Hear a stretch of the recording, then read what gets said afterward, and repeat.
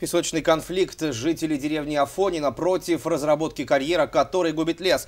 Они опасаются, что беда скоро подойдет к домам. Собственник считает иначе. Наш корреспондент Яна Хромова услышала доводы обеих сторон.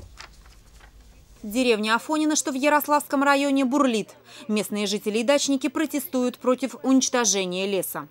Это лесополоса, там уже все вырублено. В лесополосе ничего не растет. Не найти ни грибочка. В который раз приходится возвращаться ни с чем. Вот в этом лесу что растет?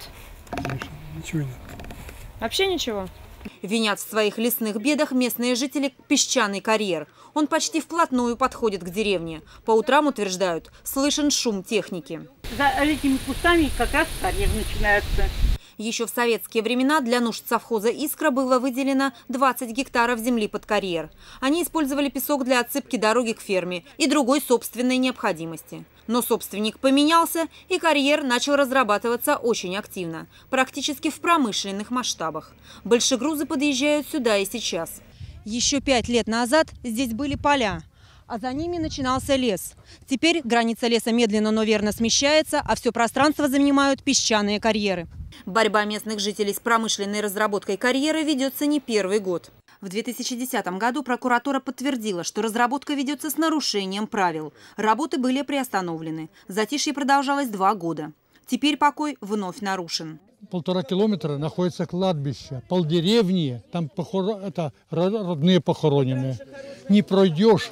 Хотели в этом карьере сделать сварку, свалку. Ну, а пока ничего нет, не знаем. Но уже там есть навалено. Собственник земель, на которых расположен карьер, утверждает, что все законно. У нас там возят на сегодняшний от 3 до 5 машин по договору.